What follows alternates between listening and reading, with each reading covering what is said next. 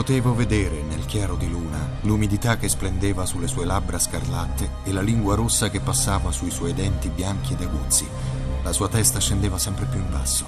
Quando le labbra giunsero a portata della mia bocca e del mio mento, sembrava che stessero per attaccarsi alla mia gola. In quell'istante io fui consapevole della presenza del conte.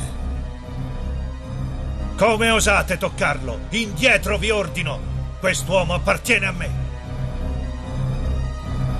Terrorizzato l'uomo giace, sudato e nauseato, con l'anima colma di angoscia. Ricorda la cena della notte precedente.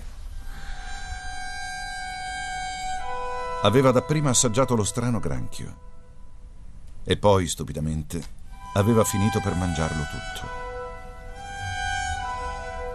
Appena si risveglia dall'incubo, nasce in lui un'ossessione. Dopo quel pasto l'uomo si imbarca per un viaggio di sette anni nei profondi recessi della mente. Il suo nome? Bram Stoker, dal cui sogno prenderà forma un'apparizione mai vista prima.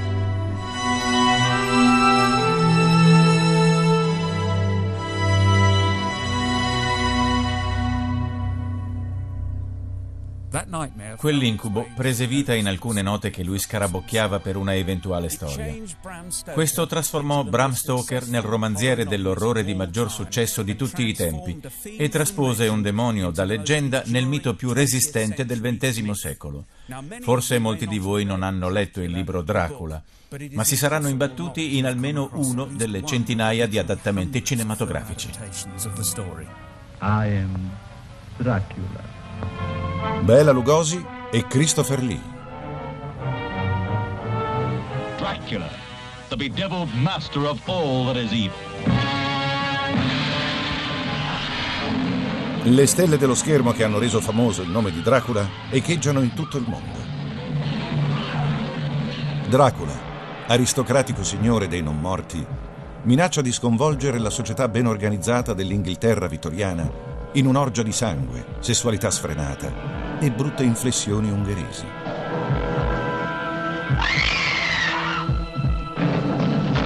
Seduce le nostre donne e le trasforma in cattivi mostri ematofagi.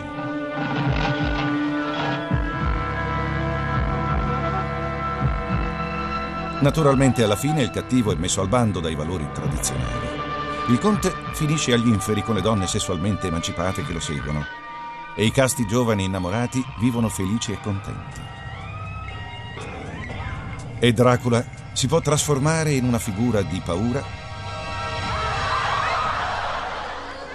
tanto quanto in una figura di divertimento. Tutte cose abbastanza sciocche a pensarci bene. Quindi perché questo libro è stato ristampato senza soluzione di continuità da quando fu pubblicato nel 1897? Cosa c'è in questa storia d'amore e sangue che gli dà un potere così forte? In breve, da dove ha origine la storia di Dracula? E che cosa continua a far vivere la leggenda? Lo scrittore Peter Heining ci guida alla ricerca delle origini dell'antenato di tutti i vampiri, Dracula un mito che nasce come un prodotto della mente, un frutto della fantasia narrativa.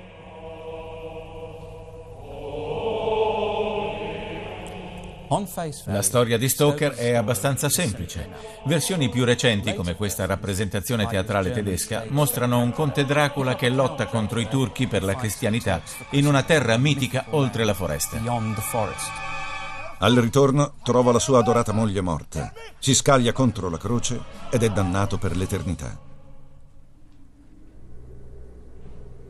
Stoker stesso presenta un giovane avvocato inglese, Jonathan Harker, in viaggio nella lontana Transilvania per aiutare un conte del luogo nell'acquisto di un maniero inglese. Dracula. Nel castello di Dracula, Harker vede il conte attratto dal ritratto della sua fidanzata Mina, che il conte scambia per la sua adorata moglie persa da tanto tempo.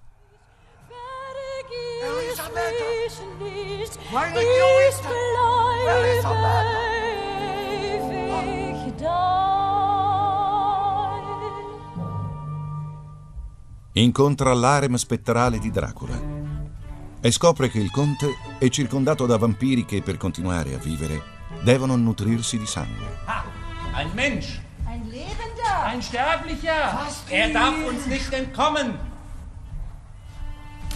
Mentre Harker è tenuto prigioniero, il conte naviga verso l'Inghilterra, con il progetto di assumere il controllo del mondo e di trasformare tutti in vampiri. Al suo arrivo seduce la bella Lucy, un'amica di Mina, la fidanzata di Harker.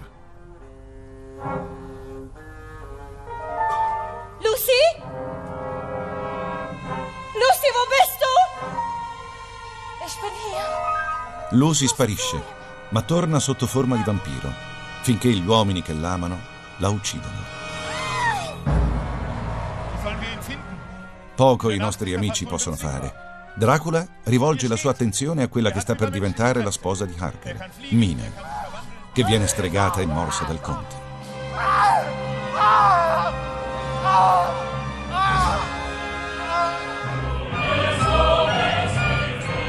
Ma i nostri eroi lo inseguono fino in Transilvania, dove viene preso e ucciso con un paletto nel cuore in un'orgia di schizzi di sangue. Non si tratta di niente di particolare se paragonato agli standard di oggi. Ma nessun altro lavoro della narrativa è stato popolare come questo per così tanto tempo e ha generato tante variazioni, discussioni e analisi. Qualunque siano le origini di questa strana storia, bisogna analizzare la vita del suo autore, Bram Stoker, e i tempi in cui viveva. Il libro viene distribuito ad un pubblico impaziente nel 1897. Il potere dell'impero britannico è al culmine. L'Inghilterra vittoriana è un insieme di contraddizioni. Controllando il più grande impero mai posseduto, gli inglesi orgogliosi e fiduciosi in se stessi sono diffidenti nei confronti di quasi tutti gli altri. Coloro che sono dominati dal loro impero vengono considerati dei selvaggi. Il resto dell'Europa è sospettato, non senza motivo, di complottare per far vacillare l'Inghilterra e sgretolare l'impero. E l'Europa orientale è vista come detentrice dei difetti maggiori di entrambe le parti. La classe dirigente vittoriana prese le sue regole di comportamento da Buckingham Palace e la regina Vittoria stabilì delle strane norme. Distaccata ed emotiva, non si riprese mai dalla morte del marito, il principe Alberto. Per 40 anni, il tempo che le restò da vivere, si vestì di nero e fece apparecchiare la tavola anche per il defunto principe, imponendo un vero culto della morte che pervase tutta la sua epoca. Il nero diviene il colore di moda. E in questa moda della necrofilia dettata dal momento, gli eroi di Stoker visitano cimiteri, aprono tombe e vengono orrendamente spaventati. Tutto in armonia con le storie gotiche che emozionano i vittoriani.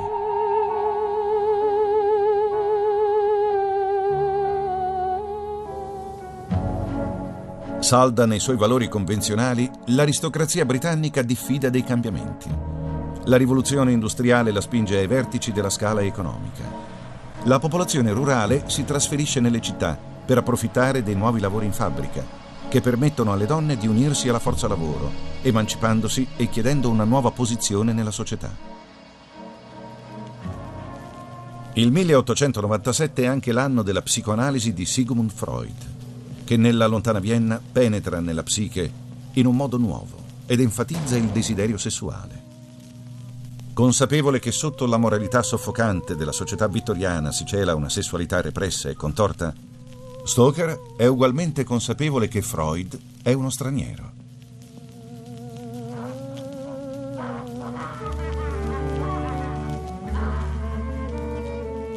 È anche il tempo in cui si diffonde la sifilide nella Londra rampante e vittoriana, che è sia scioccata che affascinata dagli scandali erotici, dalle messe nere e dall'occultismo.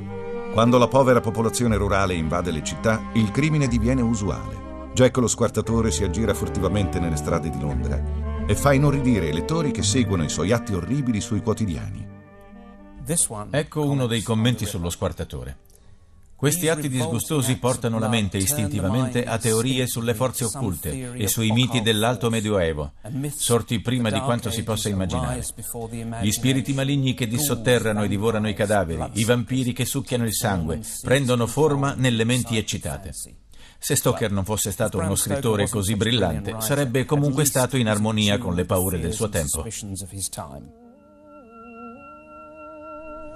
Con le sue immagini morbose di cimiteri, abbazie in rovina, tombe aperte e morti che camminano, tabù sociali delle donne emancipate, sesso e ossessioni maniacali, Dracula era destinato a essere un successo.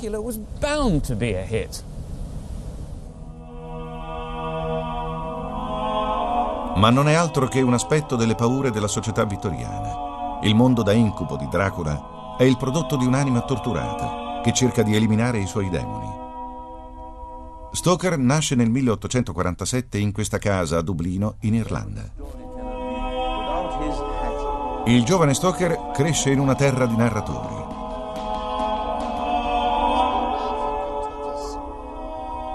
Nessuna città nel mondo è come Dublino.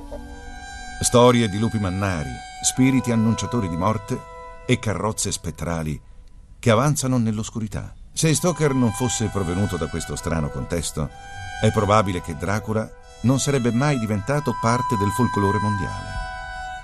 Fino ai sette anni Bram non può camminare. È così cagionevole che i genitori pensano che il bambino non possa vivere ancora per molto. Io non sapevo cosa significasse stare in piedi. Quando mi sdraio sull'erba, quei giorni mi tornano in mente con chiarezza. Guardavo le persone che camminavano e mi chiedevo come facessero.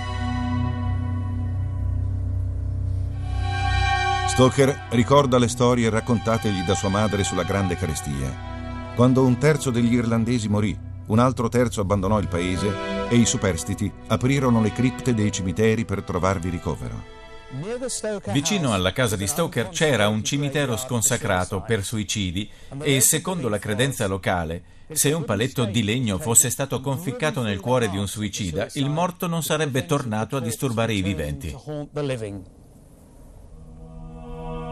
La tomba di famiglia di Stoker si trova in una chiesa nella quale particolari caratteristiche del terreno rendono possibile la conservazione dei corpi come mummie, ancora visibili ai giorni nostri.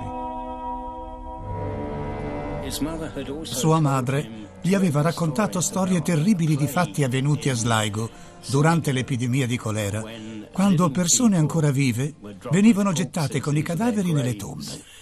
Storie decisamente terrorizzanti per un giovanetto. Incredibilmente Stoker superò la sua malattia e diventò un atletico gigante quando andò al Trinity College a Dublino. Al Trinity College Stoker viene istruito come un fido sostenitore della società. Sposa l'affascinante Florence Balcombe, che gli amici descrivono come una persona distaccata e fredda, probabilmente frigida, tormentata dalla sua grande bellezza e dal bisogno ossessivo di mantenerla. Florence gli era stata presentata da un comune amico, il poeta e drammaturgo Oscar Wilde. Fu Wilde stesso a introdurre Stoker nel mondo del teatro, che sarà l'unica vera passione della sua vita. In particolare era affascinato dal lavoro del grande attore shakespeariano Henry Irving, che recitava nel teatro londinese, il Lyceum. Seguiva religiosamente il suo lavoro e quando Irving gli offrì di diventare direttore del suo teatro, Stoker accettò con entusiasmo.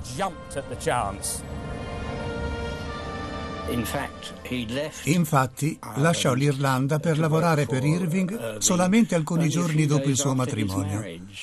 E da allora in poi si dedicò al teatro e ad Irving forse più di quanto si dedicasse a sua moglie. Irving, il primo attore nella storia britannica a cui è concesso di essere nominato pari, è conosciuto come una persona esigente, fredda ed irriconoscente, come Florence Stoker. Quando Irving viene acclamato nel 1887 per il suo ruolo di Mefistofele in Faust, Stoker verrà citato per aver detto che il suo capo è davvero un diavolo perfetto. Suppongo che Irving fosse l'eroe di Stoker, il suo dio, e gli dedicò 27 anni della sua vita, servendolo in teatro. Aveva poco tempo per scrivere, eccetto nei rari intervalli tra le produzioni, quindi si tratta di un romanzo veramente scritto nei ritagli di tempo. Apparentemente Bram Stoker era un pilastro della rispettabilità vittoriana, ma la sua mente era tormentata. Quell'incubo produsse i suoi effetti nei sette anni durante i quali iniziò a plasmare il suo personaggio. Come osate toccarlo? Quest'uomo appartiene a me! All'inizio era solo una serie di immagini sconnesse. L'unico appunto pervenutoci del 1890 dice un vecchio uomo redivivo. Il suo lavoro in teatro era troppo logorante per continuare il libro. Quindi i suoi appunti appaiono come tentativi deludenti. Niente titolo, niente trama, niente Dracula, niente Transilvania. Ma le cose cominciano a mettersi a fuoco quando porta la sua famiglia in vacanza nell'isolata città balneare di Whitby, sulle coste del mare del nord.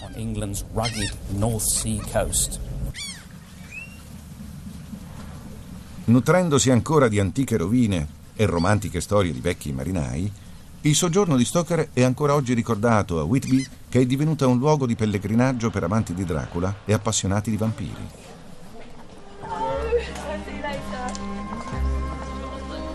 Stoker trova qui molte delle sue ambientazioni e informazioni di prima mano che gli servono per ordinare i suoi appunti disgregati in una storia logica. Da uno dei marinai del luogo, William Peternick, sente la storia misteriosa di una goletta russa, la Dimitri, che si era arenata nel porto cinque anni prima con un carico di polvere d'argento. Tutte le vele erano state distrutte, come se la goletta fosse stata investita da una tempesta. Non c'era anima viva a bordo, non fu mai trovato nessun segno dell'equipaggio. Quel naufragio avvenne qui, sulle Tate Hill Sands. Quello strano racconto ispirò Stoker, che stese le prime pagine effettive della sua storia. Un freddo autoritario vampiro arriva dall'Europa orientale su una goletta abbandonata, la Dimiter e non la Dimitri, per trasferire la storia fuori dall'Inghilterra.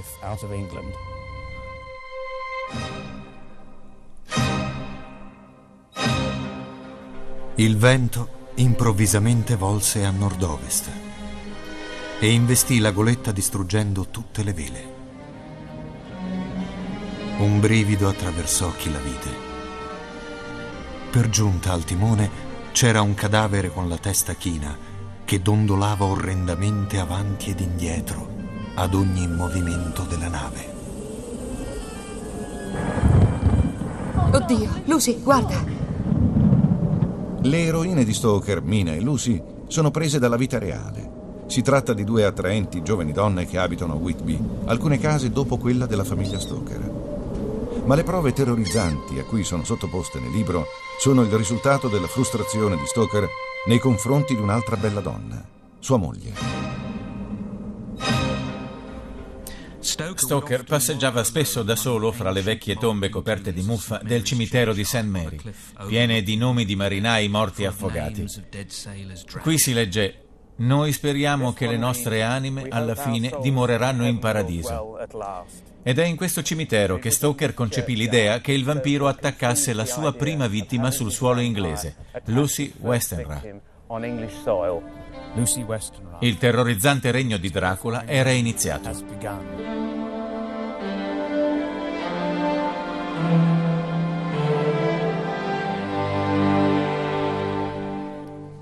Io corsi lungo la terrazza, ma non riuscivo a vedere niente di ciò che mi aspettavo.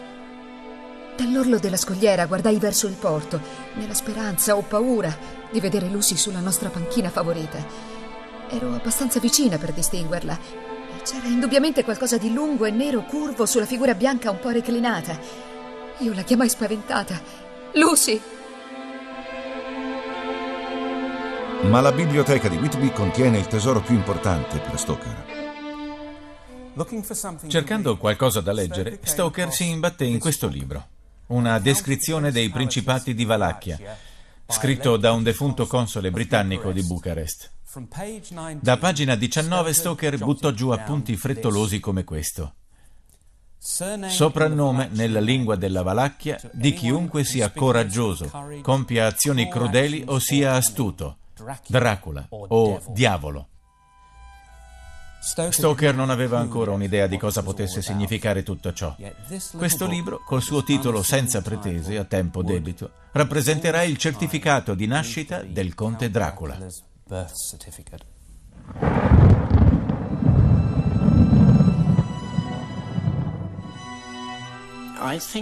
Io penso che l'idea di un castello tetro e minaccioso gli venne da un libro che scrisse per i bambini.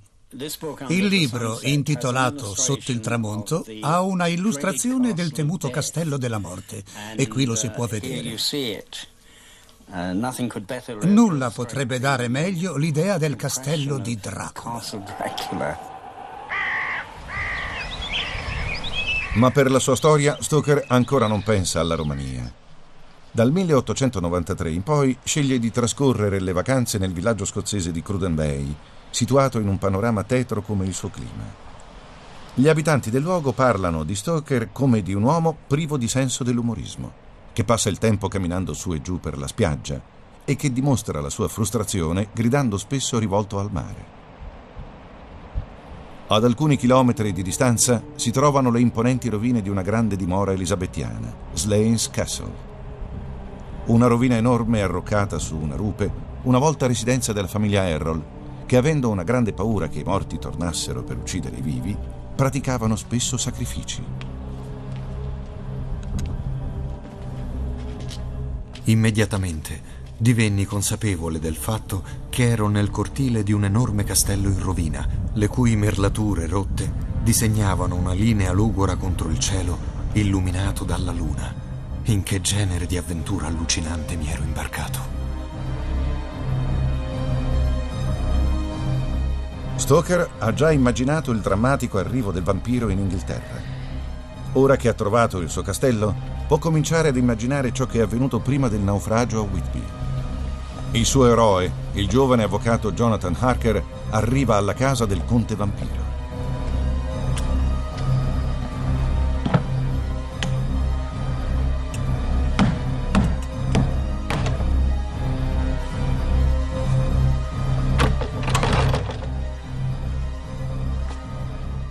Conte Dracula? Sì, sono io, Dracula.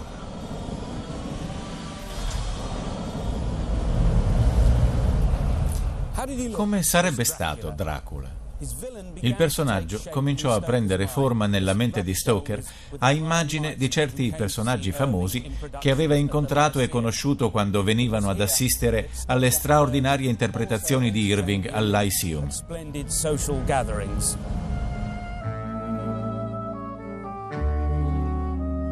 Il Dracula di Stoker ha i capelli bianchi del compositore ungherese Franz Liszt. Naso ed occhi sono di Harry Irving, l'attore che è il suo idolo e il diavolo perfetto. I rigogliosi baffi sono di Richard Barton, il famoso esploratore. Dall'attore Jack De Malla prende in prestito lo sguardo fisso da fumatore di oppio. E sul volto del primo ministro William Gladstone, che ammira, Stoker trova l'aura dell'immortalità che traspone nell'espressione di Dracula.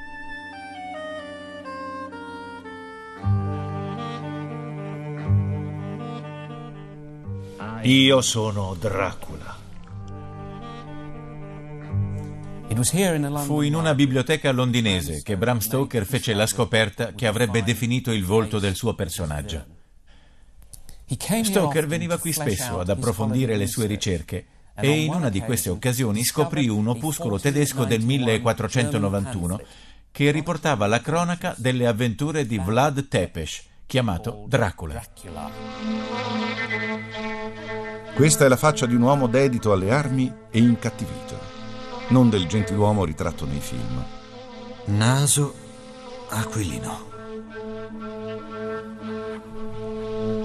E in un altro libro, La terra oltre la foresta, Stoker trova una descrizione del luogo dal quale proviene, la Transilvania.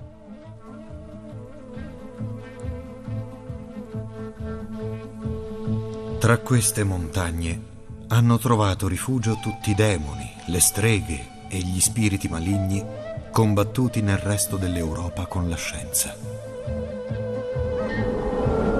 Stoker adesso ha il suo personaggio gotico. La Transilvania è una casa perfetta per il suo Dracula.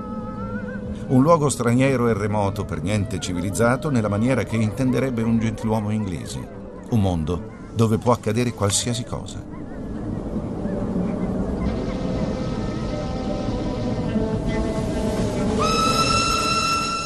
Nel suo libro, l'eroe di Stoker registra meticolosamente panorami, locande, orari delle partenze quando viaggia, eccetera, eccetera. Stoker non andrà mai più ad est di Whitby o dell'Iceum Theatre. Si è imbarcato per un viaggio con la mente, raccogliendo tutti i dettagli di cui ha bisogno dalle guide di viaggio come la guida Bedecker di Austria e Ungheria. Se Bram Stoker conosceva così poco del vero Dracula, la domanda è chi era il vero Vlad Tepes e cosa gli fece meritare il terribile destino di diventare il più famoso vampiro del mondo. 1460. Il principe Vlad Dracula domina un piccolo territorio tenuto insieme con guerre crudeli. Questo è il suo palazzo, il suo paese la Valacchia, non la Transilvania. Visse in tempi crudeli, quando le stesse azioni potevano far apparire una persona come un eroe o come un mostro, dipendeva esclusivamente dal punto di vista. È precisamente quello che accadde a Dracula. Per un certo periodo in Europa questo principe della Valacchia è stato considerato un eroe, apprezzato dal Papa stesso per aver respinto gli invasori pagani che stavano minacciando l'Europa. La storia lo ricorda per il suo regno del terrore, più inquietante della fantasia narrativa. I temuti turchi hanno appena conquistato Costantinopoli, capitale dell'antico impero romano di Bisanzio, e ora stanno avanzando verso ovest con una serie di vittorie che sembrano destinate a ingoiare l'Europa. Sulla loro strada verso il prossimo obiettivo, l'Ungheria, si trova la piccola Valacchia, nel sud di quella che è l'attuale Romania. Prima di affrontarli, Vlad mette ordine in casa sua. Tutti i nobili che potrebbero rappresentare una minaccia per il suo trono vengono uccisi barbaramente, per dare il buon esempio, come usanza in quel periodo. Questa torre non era soltanto un posto di guardia per avvistare i nemici, era da qui che il principe Vlad aveva un'ampia visuale sulle atrocità che metteva in atto nel cortile sottostante. Qui è anche dove Dracula mostrava cosa intendeva per affari. Le leggende sono molte. Dracula invita tutti i mendicanti del suo paese ad una grande festa. I mendicanti sono spesso anche ladri, quindi perché distinguere? Dracula libera da loro il suo paese dando fuoco alla sala e bruciandoli vivi. Anche le chiese subiscono la collera di Vlad se non pagano le tasse necessarie per la guerra. Le proteste delle chiese si fanno sentire.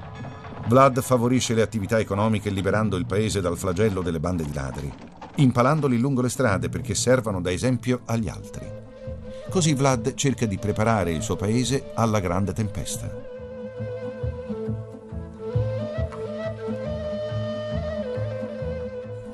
Il padre di Vlad, Vlad Dracul, era importante nell'ordine del Dragone, un nobile ordine di cavalieri cristiani.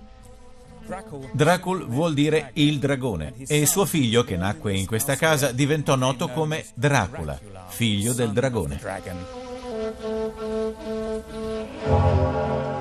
A soli 14 anni Vlad è ostaggio dei turchi, che così cercano di controllare suo padre.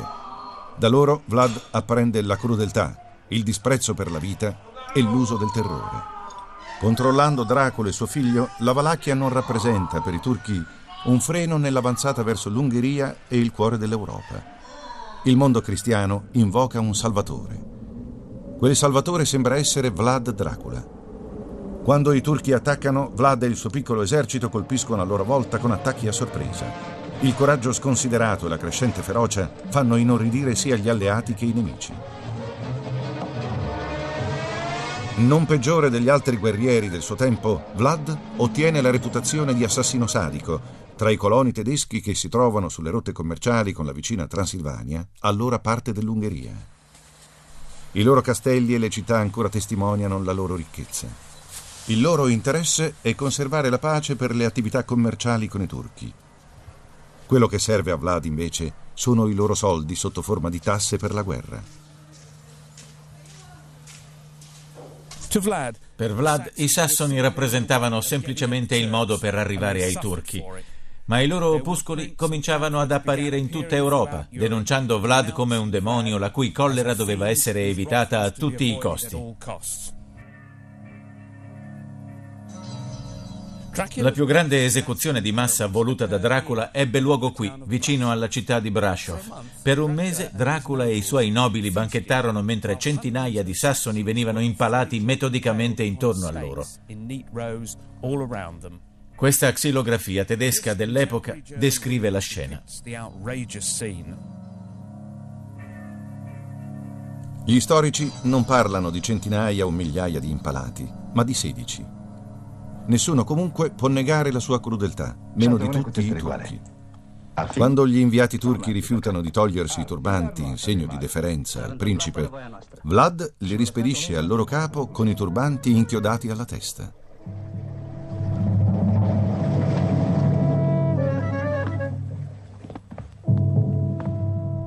Quando il sultano turco Mohammed guida il suo esercito in Valacchia, una foresta impressionante di cadaveri l'attende. Vlad ha impalato tutti i turchi che sono caduti nelle sue mani. La storia narra che il sultano si sia rivolto al suo esercito dicendo che cosa possiamo fare contro un uomo capace di questo? Il lamento dei turchi si unisce ai gemiti della chiesa e dei commercianti sassoni. Da questo momento Vlad Dracula, difensore della cristianità, diviene noto come Vlad Tepes, Vlad l'impalatore. La caduta di Dracula è favorita dal re dell'Ungheria, Mattia Corvino, che preferisce la pace con i turchi all'essere coinvolto in una guerra da Vlad. Quindi Mattia invita Vlad e lo fa arrestare. Si dice che durante i dieci anni della sua prigionia Vlad nella sua cella abbia impalato topi e addirittura ragni. Successivamente, nell'arco di pochi mesi, sposa una delle sorelle del re. Non può essere del tutto cattivo. La cattiveria come la bellezza sta nell'occhio dell'osservatore. Per questo l'ultimo dittatore rumeno, Nicolae Ceausescu, ha scelto Dracula come modello. Ceausescu proclama Vlad Tepes eroe dell'indipendenza rumena erige statue e stampa francobolli in suo onore. Ceausescu lascia questa eredità alla Romania. Cantieri enormi che trasformano i quartieri delle città e i villaggi in una folle megalomania. Queste enormi gru sono inattive dalla caduta di Ceausescu nel 1989. Ceausescu costruisce la sua residenza estiva di fronte a questo piccolo convento di Snagov. Si dice che sia l'ultima dimora di Vlad Tepes. Agli inizi del turismo di massa alla tomba si dà per scontato che la notte sia un momento favorevole per i seguaci che sperano in eventi inaspettati.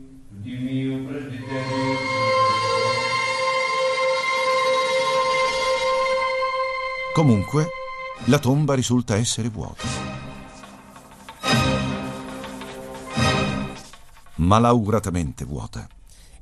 Anche se Vlad era uno psicopatico assassino di massa, seguito da una pubblicità incredibilmente negativa, e oggi ancora non riposa in pace nella sua tomba, questo non significa che lui fosse un vampiro o che i vampiri esistano. Infatti nulla suggerisce che Vlad l'impalatore abbia qualcosa a che fare con il vampirismo e molto poco con la Transilvania. Questo sembra essere ormai assodato.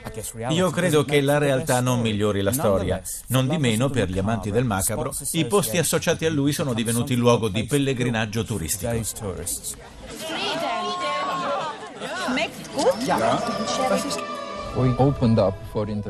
Noi abbiamo aperto al turismo internazionale nel 1960. Una delle prime richieste dei visitatori occidentali alle guide rumene era Può dirci dov'è il castello di Dracula?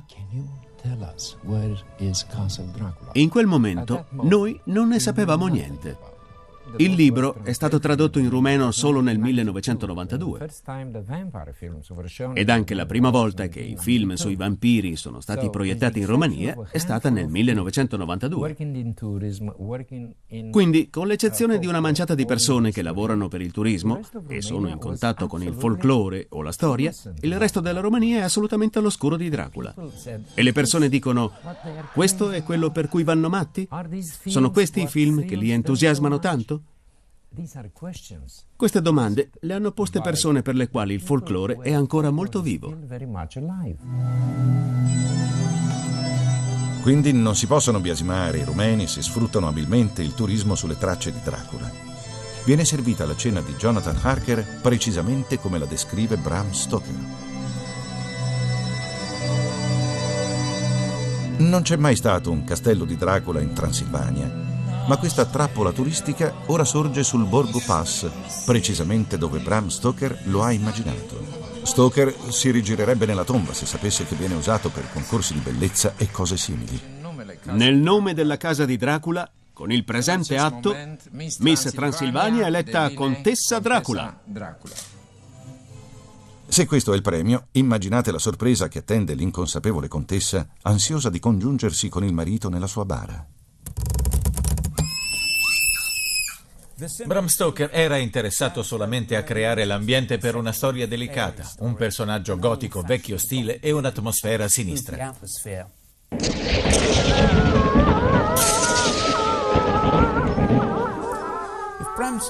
Se Bram Stoker conosceva così poco il vero Dracula, dove abbiamo trovato l'immagine del conte, col suo mantello da opera e il sorriso poco rassicurante?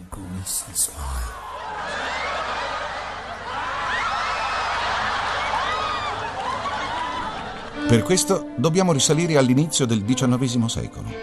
Gli orrori delle guerre napoleoniche hanno fatto volgere l'attenzione sul mistico e sul morboso.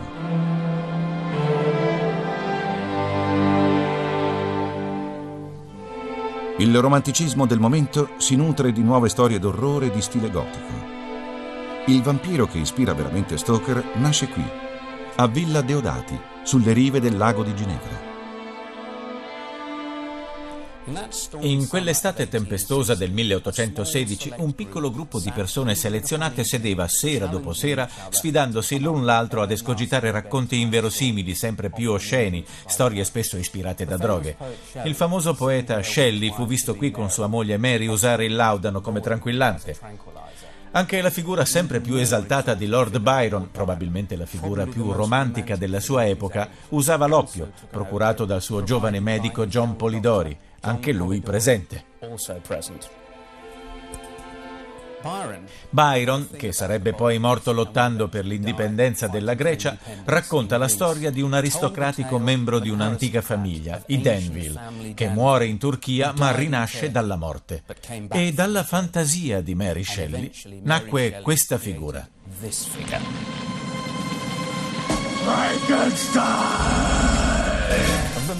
Mostri creati dalla letteratura nelle storie dell'orrore.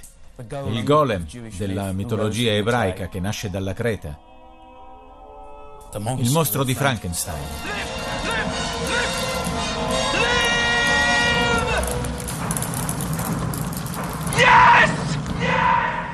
E Dracula. Tutte queste storie hanno un tema in comune che ossessionava le persone 200 anni fa come le ossessiona ai giorni nostri la paura della morte e la ricerca dell'immortalità. E di tutte queste storie due sono nate su questo tavolo.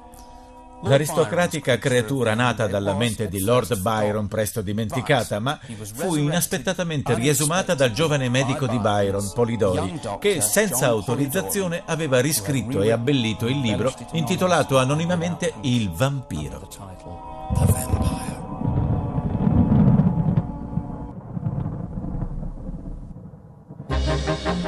Byron è furioso, anche se Polidori dipinge il suo vampiro, Lord Ruthven, Ecco il padrone. come frequentatore delle sale di un castello scozzese, kilt compreso. Dov'è la mia sposa? Sono qui, mio signore. È chiaro a tutti che lui l'intende come una parodia di Byron stesso. E ad essere onesti, il personaggio ha alcune caratteristiche di Byron.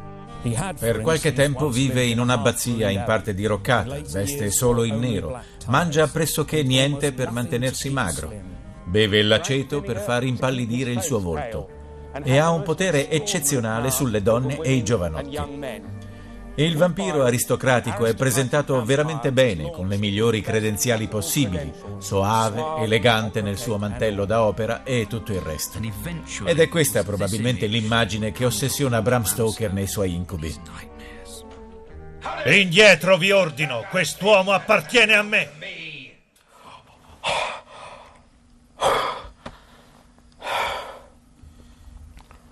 Il Dracula di Bram Stoker, come le prime creature quali Ruthven o Varney il vampiro di Thomas Prescott Press, pubblicato su una rivista in fascicoli settimanali, sono tutti prodotti della fantasia. Ma le altre storie di vampiri hanno una base diversa. Nascono da personaggi reali, tanto perversi e sadici come quelli della creazione letteraria. Gilles de Ré, maresciallo di Francia e comandante di un esercito, si dice che abbia trucidato 200 giovanetti. Lui era uno dei più grandi assassini seriali di tutti i tempi, come Elizabeth Bathory, che era cattivissima. E Ingrid Pitt, l'attrice che ridà vita alla mostruosa contessa ungherese Elizabeth Bathory, che alcuni chiamano Contessa Dracula. Mirror on the wall. Who is the most terrifying of them all? Look at me. Una contessa che si bagna nel sangue per conservare la gioventù e la bellezza. The more she drinks, the prettier she gets. The prettier she gets, the thirstier she gets. Look at me, Dovey. Siamo nel 1600. Per anni la contessa Elizabeth Bathory nasconde la mostruosa realtà dietro un volto fresco che ha visto centinaia di ragazze uccise per il loro sangue. Le ragazze venivano portate al suo castello dalle madri. Volevano che avessero un lavoro sicuro e che stessero al caldo, perché c'era la guerra in quel periodo. I turchi attaccavano continuamente il loro territorio. Non avevano idea di quello che stavano facendo. Stavano portando le loro figlie a quel demonio, a quell'assassina. Lei le metteva in una gabbia di ferro, piena di punte all'interno, poi faceva innalzare la gabbia fino al soffitto. A quel punto le sue serve più fedeli torturavano le ragazze con delle torce e le fanciulle si ferivano sulle punte. Il sangue delle poverette colava su di lei e lei faceva cose sessualmente scellerate. Le dava tale piacere che teneva il sangue su di sé e andava a letto così. E il sangue cominciava a puzzare, e il letto cominciava a puzzare. E lei lo faceva ancora, e ancora, e ancora.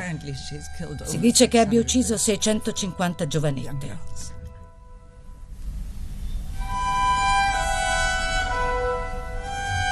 La Bathory non sarà mai accusata di essere un vampiro, e nemmeno De Re. Ma le poche informazioni che sfuggono toccano paure antiche di individui demoniaci succhiatori di sangue, paure vecchie come il mondo.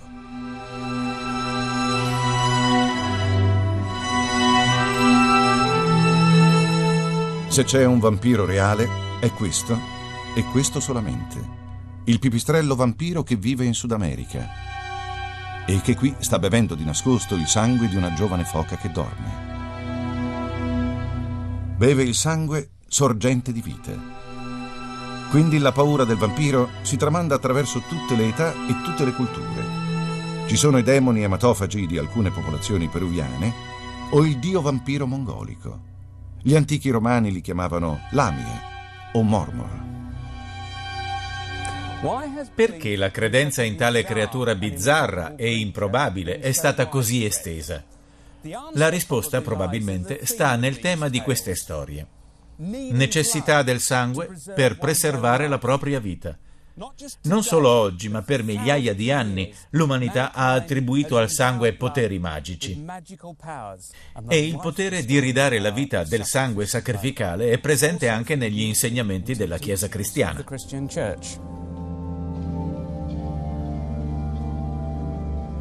Come dice il Vangelo di San Giovanni, chi si nutrirà della mia carne e berrà il mio sangue avrà la vita eterna. Quindi non è sorprendente che l'attrazione sinistra per il sangue divenga molto comune nei paesi cristiani.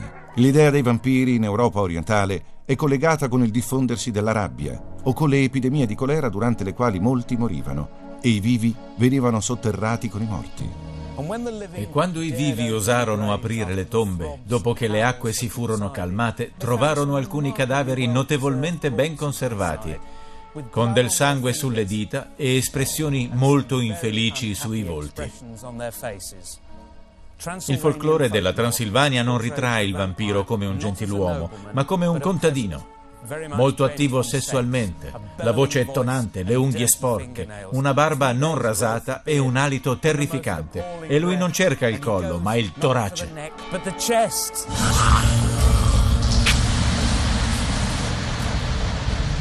Una gran differenza dal nostro vampiro aristocratico, cordiale, appena rasato, la cui zona preferita è il collo. Ma la Transilvania, dove lo dovrebbero sapere, ha un'idea diversa dei vampiri. Si cerca il vampiro in Elizabeth Bathory, in Jack lo squartatore, in qualche anomalia patologica. Il vampiro non è quello. Il vampiro è una categoria soprannaturale del folklore con un contratto con l'umanità, con la comunità. Il vampiro è il poliziotto dell'antichità. È attraverso la paura della punizione del vampiro che l'incesto è stato evitato, l'omicidio è stato fermato, il furto è stato frenato. È attraverso la minaccia del vampiro che le norme sull'igiene sono state rispettate. La gente, per conoscere il bene, ha bisogno di conoscere il male. E il vampiro svolge questo ruolo. In questo senso il vampiro è vero. Dracula, invece, rompe il contratto con l'umanità. Il conte Dracula è l'unico vampiro aberrante che attacca i bambini innocenti, le vergini, attacca anche i preti. Non ha nessun rispetto per il contratto.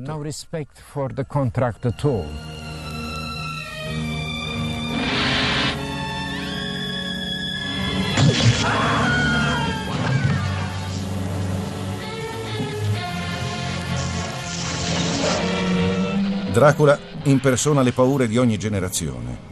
Paura per le invasioni straniere, per l'emancipazione delle donne, per le scoperte scientifiche non regolate, per il comunismo, il capitalismo, il satanismo e le malattie come la sifilide e l'AIDS.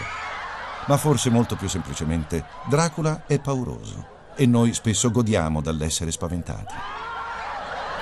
Un caso di fermatelo mi piace. Una ragione per la popolarità del libro tra gli adolescenti?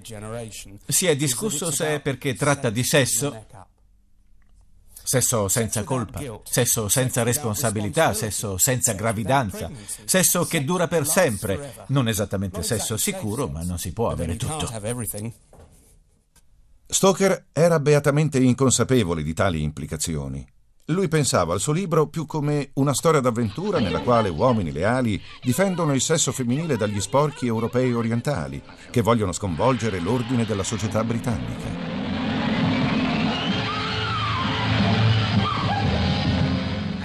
Il mito è istericamente divertente. Non posso prenderlo sul serio, ma penso che sia un grande divertimento.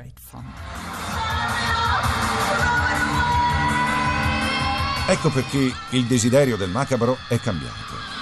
Le cantine cripte funzionano con profitto, il sangue coagulato fa sorridere, molti dei seguaci mettono in mostra i loro denti in maniera innocua. È un hobby sano per divertire le persone e tirarle su. È una liberazione, è una fuga. E qui si possono dimenticare tutte le cose terribili che sono sui giornali, tutte le guerre, tutti i delitti. Possiamo fingere di aver bisogno di violenza, ma per divertimento.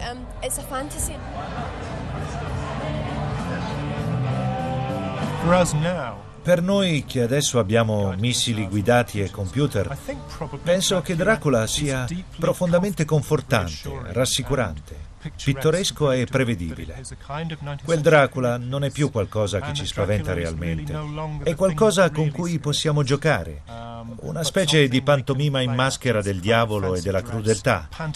C'è un lato crudele e malvagio in noi e noi possiamo ridere della nostra natura cattiva, distruttiva e non prenderla troppo seriamente.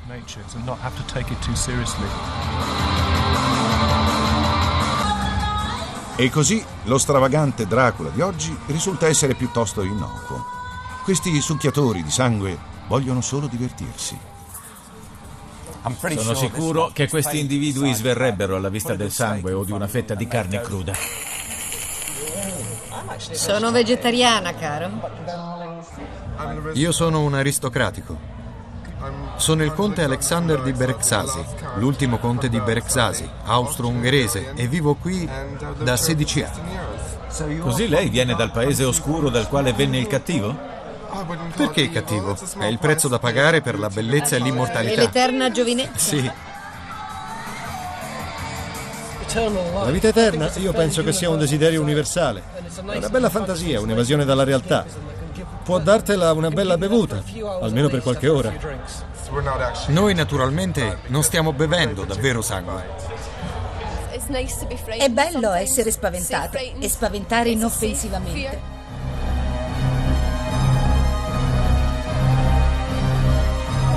Sì, paura. Paura senza rischi. Paura che scomparirà quando le luci del teatro si riaccenderanno, come un incubo che svanisce all'alba. E così siamo tornati al luogo dove tutto è cominciato. Incubi. Se ricordate è dall'incubo di Bram Stoker che comincia l'Odissea che dà luogo alla creazione di Dracula. È un sogno che chiunque avrebbe potuto fare, tutti facciamo brutti sogni, ma l'incubo di Bram Stoker è responsabile della nascita di un genere letterario, un'industria del vampiro e un mito moderno. E tutto a causa di un granchio.